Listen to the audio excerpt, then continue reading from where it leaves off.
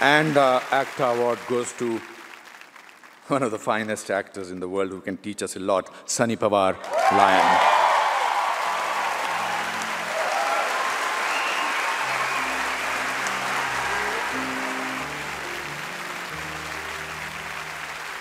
I wish I could be in Australia with you all. I am shooting in Kolkata where we shot from Lion. Thank you so much this hour. I am so happy. I wish you all Happy New Year and Merry Christmas.